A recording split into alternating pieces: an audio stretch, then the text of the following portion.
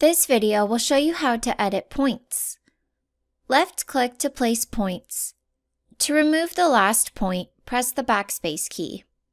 Right-click to place the last point. Click Edit Points. To add points, hold the Control key and left-click to place points. Or you can click this button, whichever you prefer.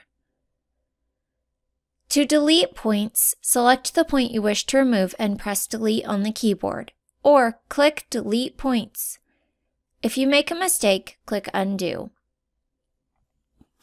To select multiple points, left-click and drag to highlight the points, or hold the Shift key and left-click on the points you wish to edit. Select this option for a sharp corner, select Spline for a curved corner, to create a custom curve, select Bezier. Move the points to adjust the curve.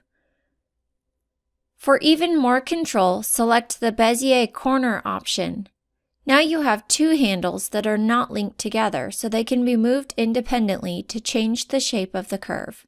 To move one or more points a specific distance, select the points and press the Enter key. Then enter the desired offset in the X and or Y direction. Press enter. You can bevel corners in a similar fashion.